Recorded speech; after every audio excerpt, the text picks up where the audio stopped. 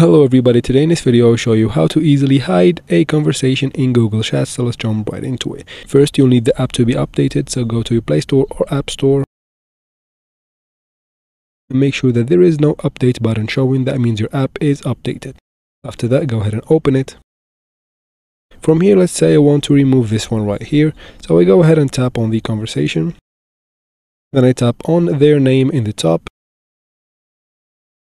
from here, tap on hide conversation in the bottom. And just like that, the conversation has been hidden successfully. Let's do that again. Tap on the user's name in the top.